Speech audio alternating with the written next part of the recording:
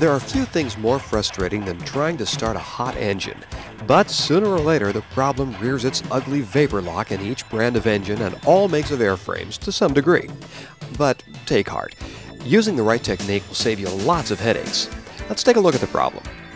An air-cooled engine starts hot between 15 minutes and 2 hours after shutdown. There are several factors which, when combined, make starting airplane engines, hot or cold, difficult. Aircraft engines are quite simple. They don't have chokes for cold starting, and they don't meter fuel precisely at below idle speeds. Aviation fuel many times fails to vaporize easily at startup.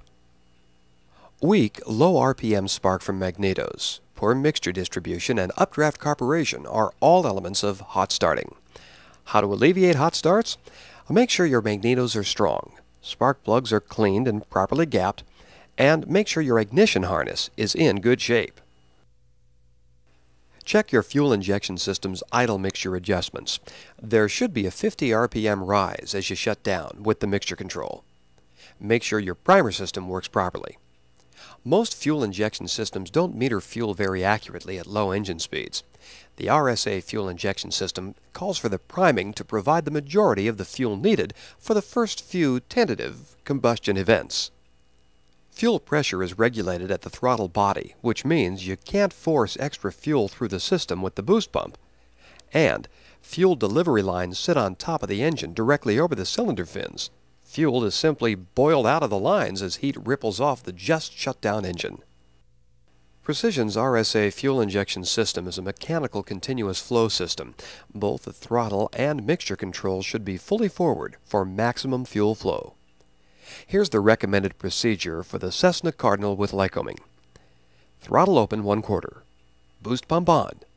Mixture move from idle cutoff to full rich to obtain a 3 to 5 gallon per hour fuel flow. Then back to idle cutoff. Boost pump off and engage the starter. In theory, the engine will catch within a few revolutions, and you can push the mixture smoothly to a full rich as power develops, then retard the throttle to the desired idle speed. Now, Here's a few common sense reminders.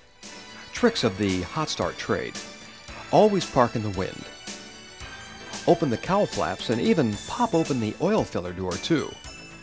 In this way, hot air escapes from the top of the cowling and helps to draw cool air out from the outlet area.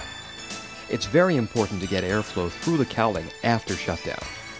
Of course, when you're faced with a hot start, always follow the procedures presented in the operating manual.